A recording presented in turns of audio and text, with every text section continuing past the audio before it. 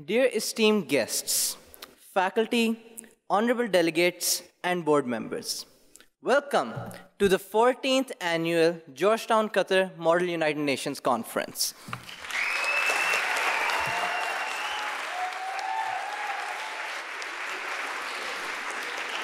My name is Mudassar Raza Shakir, and I am the Deputy Secretary General of this conference.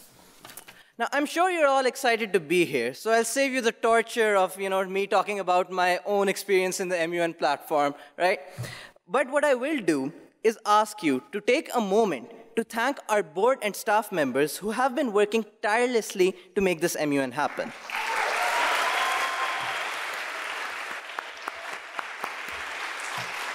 Now, I realize that as delegates, we don't see all the work that goes into planning a conference like this. It, but believe me, it's truly exhausting. However, seeing all of you here, I realize the fruits of our labor have paid off.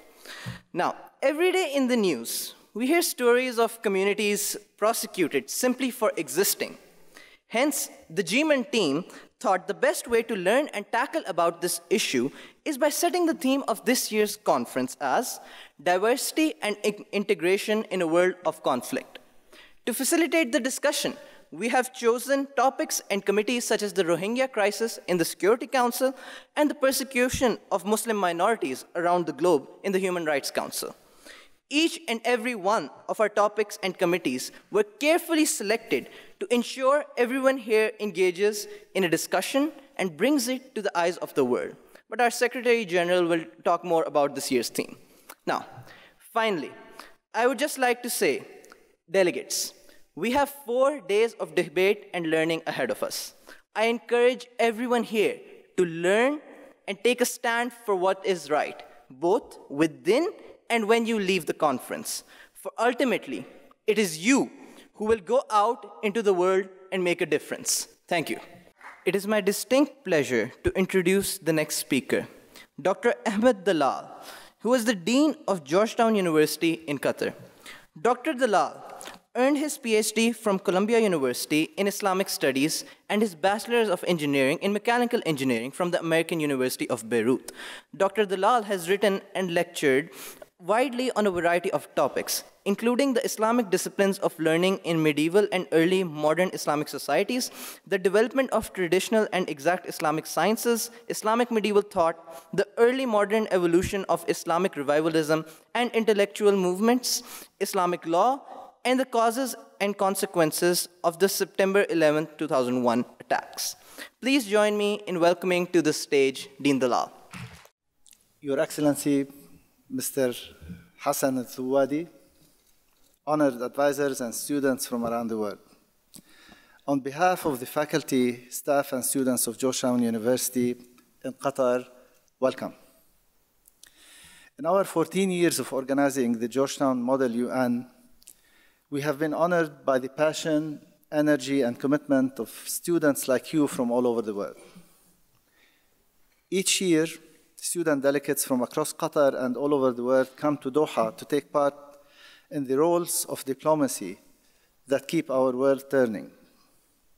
European, North American, South American, Middle Eastern, North African, African, and Asian countries have been variously represented with these students all converging on Doha to debate issues from, from ongoing current events.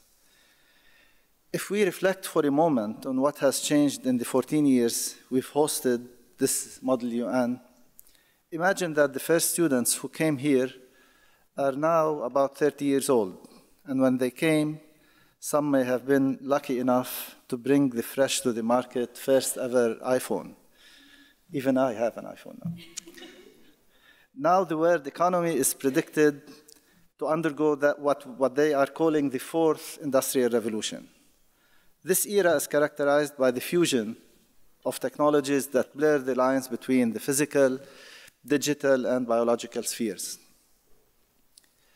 Those of you in attendance last year will recall that the digi digital revolution was something that was touched on in last year's Model UN.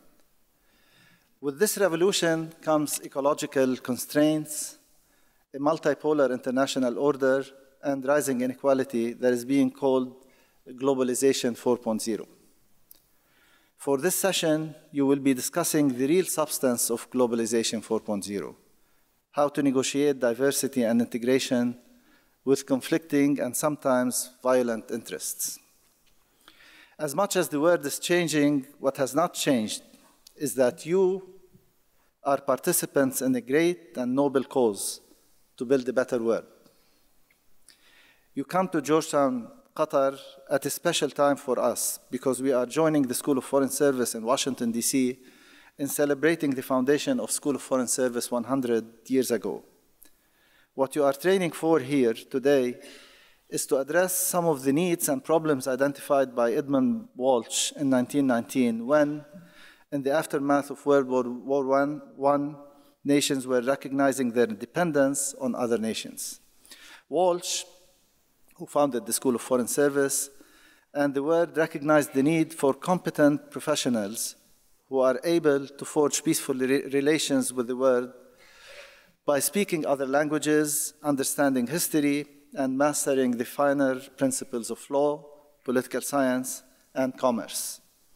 In this spirit, Edmund Walsh founded the School of Foreign Service, and it is in this spirit that students continue to gather here every year to practice skills and prepare themselves for their own future in a globalized world. It took a lot of hard work to come to the table today. And this is a microcosm of, the, of what the United Nations delegates do when they show up to their councils. Like you, they come with various levels of background knowledge, varied amounts of sleep, time spent on research, and with a kaleidoscope of different cultural upbringings, perspectives, biases, and agendas. We hope that during your time here, you learn not just about the process of global decision making, but also about negotiating from both a position of weakness and a position of strength, ultimately learning where compromise can lead to shared gains. We hope that during your time here, you evolve and learn the ins and outs of diplomacy, pick up some new persuasion techniques, and perhaps most importantly, discover the power of simply listening. In many ways, we represent, you represent the youth of the world, leading by example with your will and aptitude to weigh in on some of today's most pressing issues. So I encourage you to look around you and think, how can I take this wealth of resources and opportunity and use it to help others? What can I learn today that can help change the world of, for, for, for the good? For Georgetown Model UN, you are the change we wish to see in the world. Before I end, please join me in thanking the Model UN board for organizing this wonderful event. Samira, Fiza, Mudassar, Catherine, Mariam, and Khansa.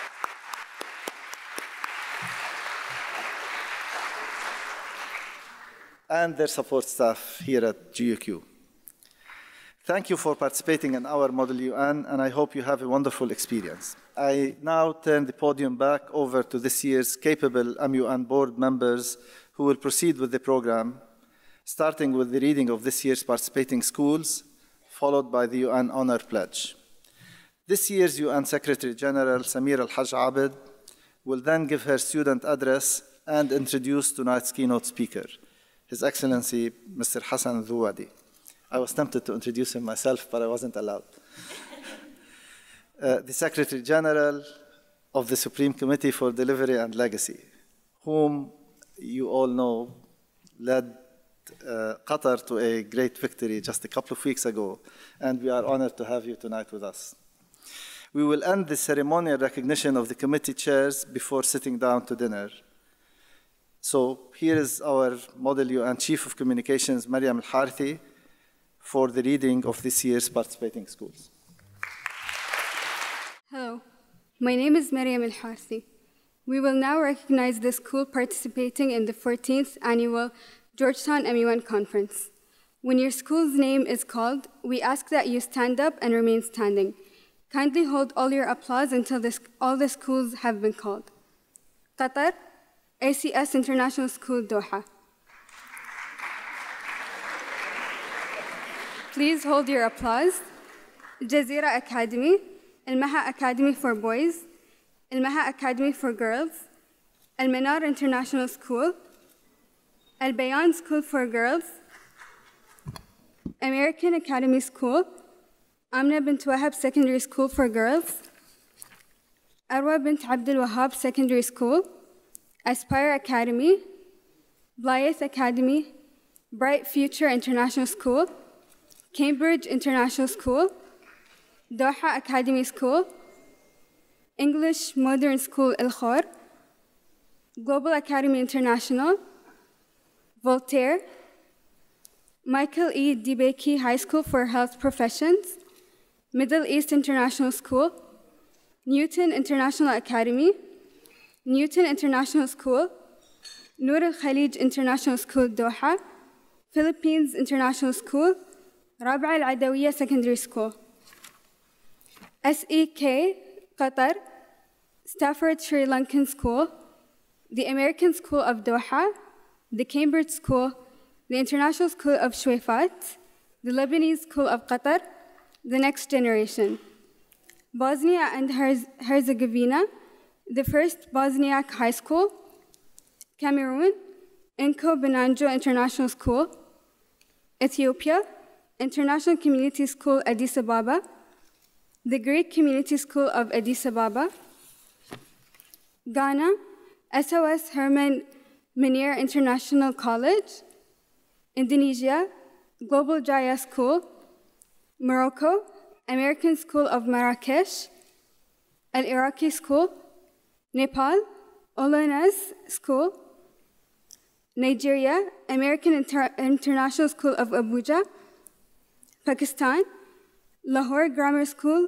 OPF Senior Girls, South Africa, African Leadership Academy, Turkey, FMV Ozel Ayazaga Ishik, and Fen Lissi, FMF Irankoy Ishik High School, Susan School. Ladies and gentlemen, the participant of the 2019 Model United Nations uh, Conference. Now it is my pleasure to welcome to the stage a member of Georgetown's class of 2019 and this year's MUN Secretary General Samira Alhaj Abid. Honorable guests and delegates, it's an honor to be serving as your Secretary General for this year's annual Georgetown MUN conference. This will actually be my last MUN as I'm expected to graduate in May, hoping my senioritis doesn't get the best of me. Growing up, my parents always told me to pursue what I love, what I feel passionate about, and that's why I ended up at Georgetown. I know I'm standing in front of you right now, giving this speech in complete confidence, but trust me, it took me four years of self discovery to be able to stand on my feet in front of a crowd this big. I know you're all here because you love debating. You love the power and space MUN has given you to express your opinions. So I encourage each of you to take it upon you to actively participate in this year's conference. I ask you to make it your mission as students to grow. You're all here today discussing blood boiling topics, topics that our current leaders and politicians don't seem to have answers for. Don't let that hold you back.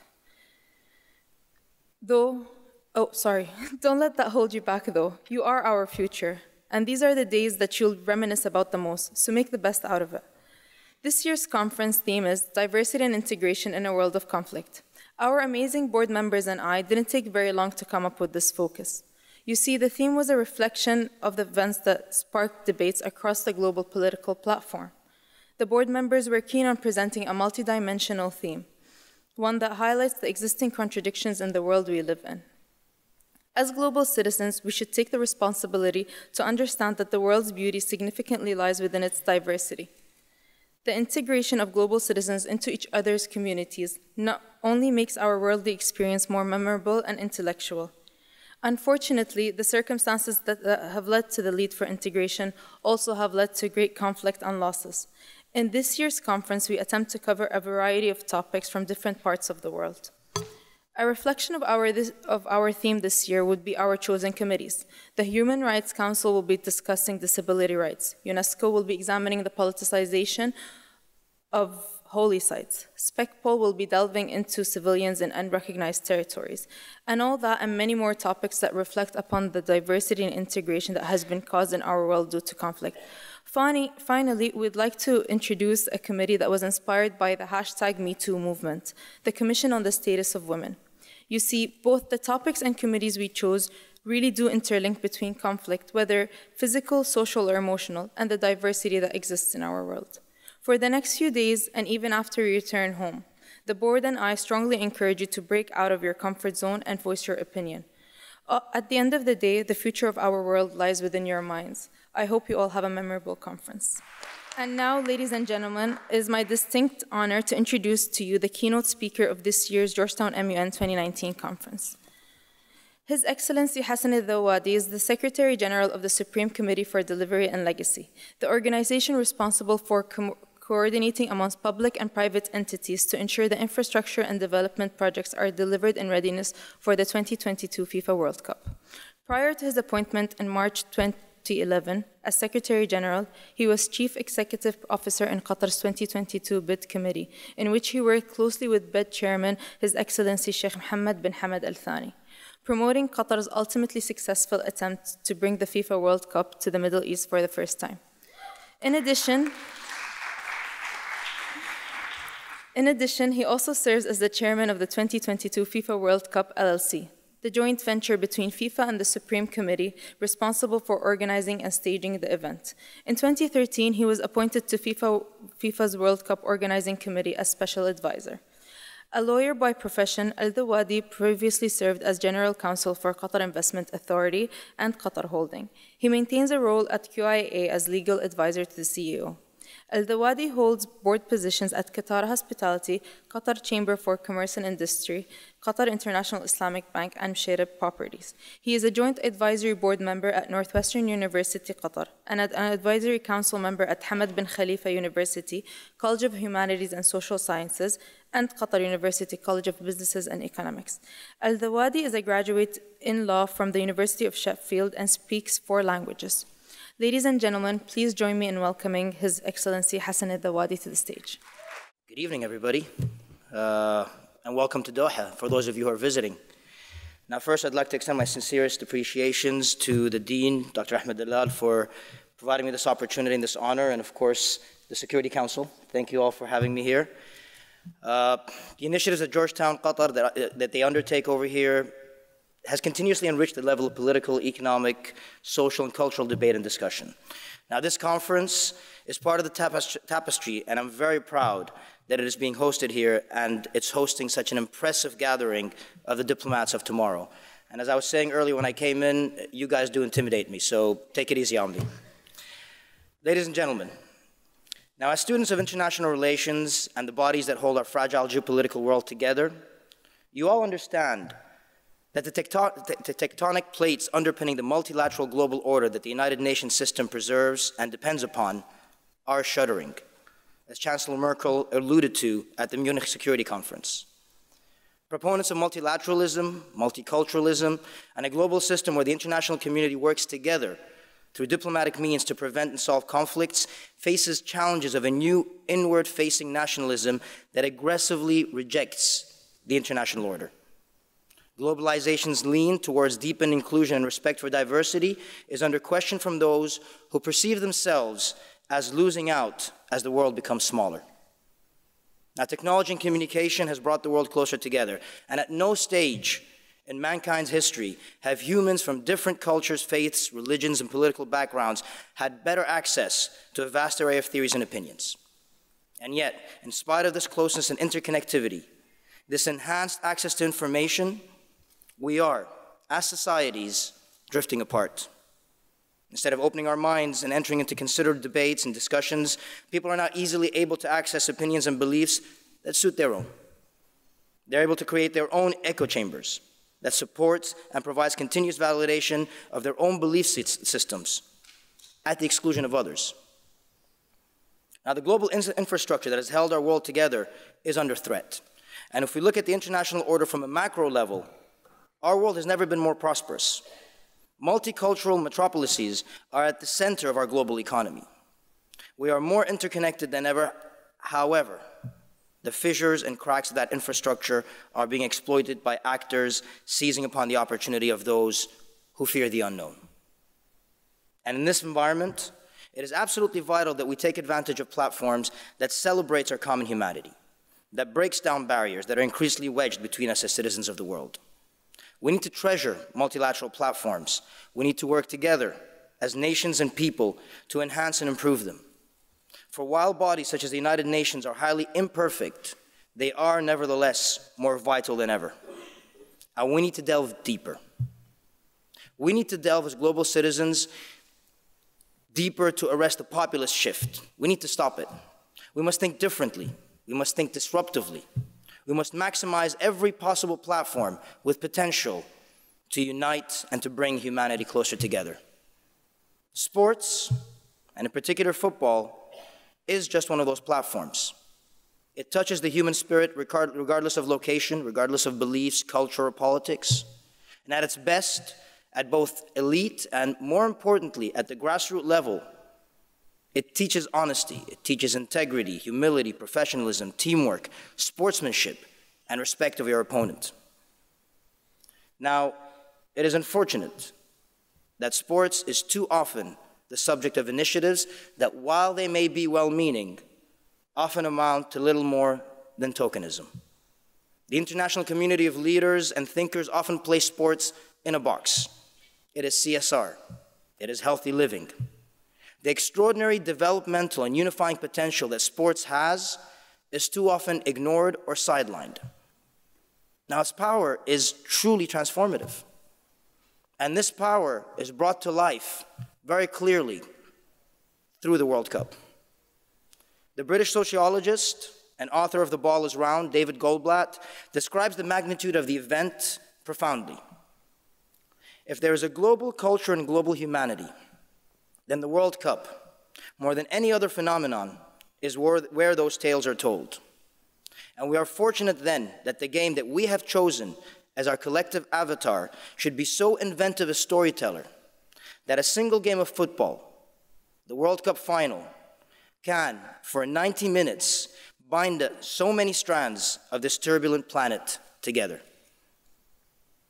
And that is exactly why we bid to host the World Cup in Qatar. We wanted to tap into that spirit that Goldblatt so eloquently describes. A spirit that brings together 3.4 billion worldwide viewers, and for the first time in history, with the Middle East as its backdrop. Not a backdrop of conflict and war, but as the host of an event that truly unites every strand of humanity like no other.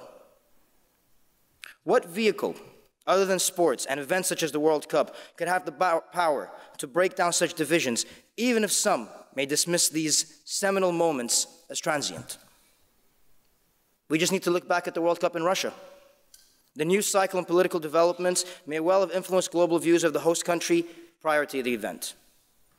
But what other, what other event would bring thousands of Swedes and Koreans together in Nizhny Novgorod? What other event would inspire thousands of Tunisians and English to converge together in Volgograd? And what other event would introduce the locals of Saransk to thousands of Colombians and Japanese? Now, I firmly believe, and I've experienced it myself, these visitors and their Russian hosts in various cities nurtured special bonds and established memories that will last a lifetime. Stereotypes on these days were shattered, friendships were born, and all through the common language of football. South Africa's World Cup in 2010, a celebration of a country's arduous journey from the apartheid era to the Rainbow Nation and the international stage. And it was also a celebration of the African continent, as we saw in evidence by the overwhelming local support for the Ghanaian team that reached the quarterfinals. I'm glad that some people experienced that. I was about to say you might be too young to have experienced it, but thank you for that support. The international community and the visitors to the finals witnessed a proud, multicultural nation demonstrating to the world its ability to host an incredible major event. Now, were these moments seminal? Were they transient for Russia and South Africa? Were the opportunities fully exploited to last a lifetime? These questions are open to debate. But for one nation, its modern history can be told through the World Cup. In 1954 was the first time that West Germany lifted the World Cup trophy. This came nine years after the conclusion of a war that tore Europe and the world apart. the West German national team shocked the world by triumphing over the, over the famous Hungarian team, the mighty Magyars. A West Germany that was mired in self doubt and economic turmoil, living through a complicated relationship with nationalism, was suddenly, in one moment, free to celebrate. Now, according to Der Spiegel's edition, printed the day after the final, winning the World Cup was the founding cultural moment of the Federal Republic. Now, if we shift forward 52 years later, the World Cup in Germany in 2006 is considered one of the most memorable sporting events of contemporary history. 16 years post reunification, the German nation invited the world to experience an economic powerhouse, a truly vibrant multicultural society, and stereotypes previously propagated about Germany were dismantled. Now, I've spoken to many German friends who've told me that a new national identity was cemented through hosting the World Cup in 2006. And on the day after the final, the Times of London ran the headline Never mind the finals, true winners are Germany. This is an English newspaper praising a German achievement. Talk about miracles happening. Germany 2006's motto was a time to make friends. And it played out this way. Effective, efficient, process oriented Germany was now all of a sudden fun loving, modern, creative, and within two years was considered the most admired country brand in the world. Now we in Qatar are working to create our own seminal moment in history, not just for Qatar, but for the region, through the 2022 FIFA World Cup. In 2022, we expect about 1.3 to 1.6 million visitors to Qatar. Now, for many of those, this will be the first time that they set foot in the Middle East. To the billions who will tune in around the world and the million plus fans that will touch down on our shores in 2022, we want to showcase our country and the region in the most positive manner possible. We want to showcase our renowned hospitality and culture above all. We want to showcase our humanity. We want visitors from all over the world to understand that people in our region are multidimensional just like them. They're passionate just like them, fun loving, and more importantly, that we all love football just like them. We want people to delve beyond the stereotypes and the myths that are perpetrated to divide the East and the West. And we want to form lasting relationships on a person to person level. We want to take this precious opportunity to respect, to accept, and to celebrate our differences. And this is the true legacy of sporting mega events and the 2022 World Cup in Qatar. It will harness the spirit, and it will serve as a rallying point in the history of our region, as it has for other countries and regions in the past. Now, we are working very hard to utilize the World Cup as a catalyst to accelerate the, prog the progress that we're committed to as a nation. We've made significant strides in addressing issues relating to workers' welfare, for example. We have improved standards through a serious commitment to reform and an understanding that transparent international cooperation is in our best interests.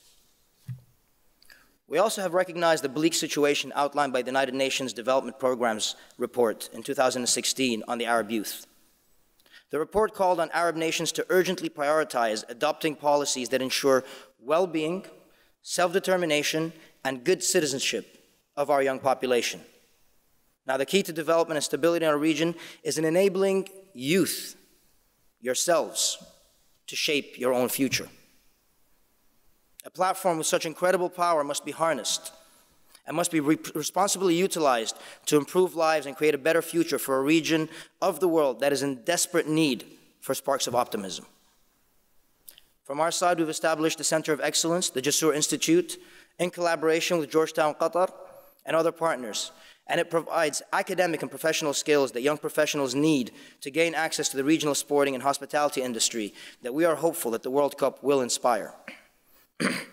and recognition of the talent that exists across the MENA region, we've also launched an initiative called Challenge 22 that calls upon young entrepreneurs to create innovative concepts and inventions that could be used at the World Cup.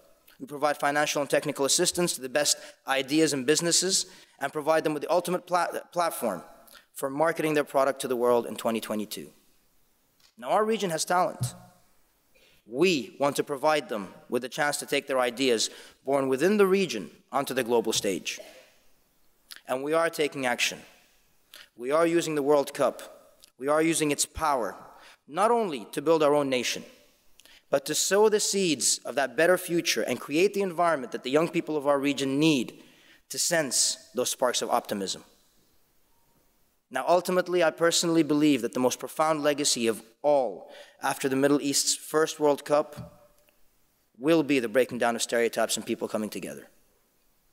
It is our responsibility, all of us, to ensure that we take advantage of these platforms to celebrate humanity, that bind us together and to break down the barriers that are increasingly wedged between us. It is incumbent upon us to ensure that these sparks of light touch upon the people of this planet in the most meaningful way possible. And what better platform exists than the one that touches 3.4 billion people simultaneously? Now, the former German Chancellor and Mayor of Berlin, Willy Brandt, famously said, Walls in people's heads are sometimes more durable than walls made of concrete blocks. Sports breaks down those walls. The universal language of football, manifested at the World Cup, tears down those walls. And for a month, the majority of the planet unites together in celebration of our humanity and our diversity. This is the legacy that the international community must recognize and must elevate. To remind them that in spite of the talk of clashes of civilizations and divisions, in 2022, the World Cup will and must bring people from every corner of the world together in Qatar. Americans will chat with Iranians about football. Japanese will be partying with Brazilians. Peruvians will be dancing with Nigerians, and more half of the planet will be watching.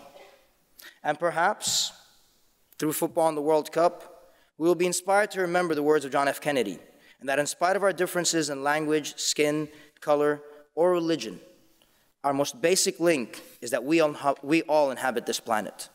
We all breathe the same air, and we all cherish our children's future. We are all mortal.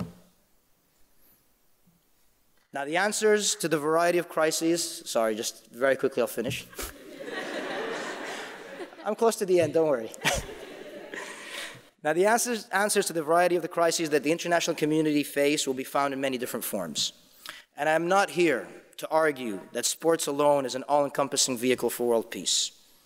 But what I'm conveying to you is that it has too much potential to serve as a mere sideshow. So when all of you sit down, debate, Work with your partners during your sessions to find solutions to the global issues under discussion. I urge all of you to recognize sports power and to integrate it into your thinking. Thank you and good evening. Now you can clap. Thank you so much, Your Excellency. Hello, my name is Catherine Danilowitz, and I would now like to ask all committee chairs to stand up upon hearing their name. Security Council, Chair Hansa Maria. Co-Chair Co-chair, Aisha Iqbal. Rapporteur, please hold your applause till the end. Rapporteur, Iman Ismail. Human Rights Council, Chair, Maryam Al-Harthi. Co-chair, Minahil Nadine. Nadim. Rapporteur, Normain Sisson. Special Political and Decolonization Committee, Chair Zubash Shakir. Co-chair, Zoya Faruqi. Rapporteur, Abdullah Al-Malki. Disarmament and International Security Committee, Chair Mohammed Abu Huash, Co-Chair Kushbu Shah, Rapporteur Shema Benkermi, the Committee on the Status of Women, Chair Sara Elamin, Co-Chair Buthena Althani, Rapporteur Camilla Idris, Crisis Committee, Chair Sarah Abdulghani, Co-Chair Taha Kalim Bukhari, Bukhari. Uh, United Nations Development Program, Chair Talal Abdul Nasir, Co-Chair Lulua Al-Saig, Rapporteur Ayman Khan, the United Nations Educational, Scientific, and Cultural Organization, Chair Malak Elma, Co-Chair Nadine El Dahabi, Rapporteur Maryam Hassan, the Arab League, Chair Salma Hassan, Co-Chair Lean Al-Rabat.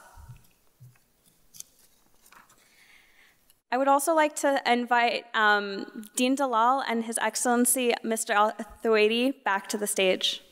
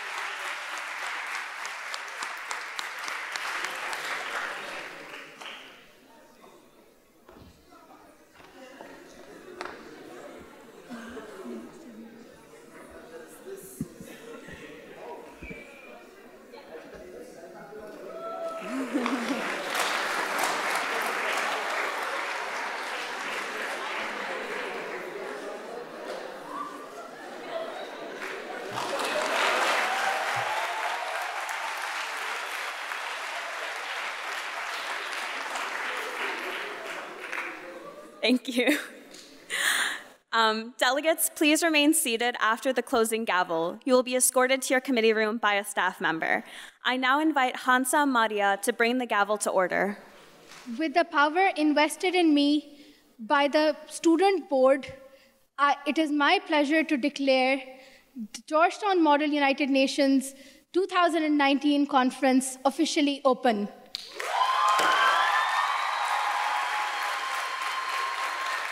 Delegates, delegates, please take your seats.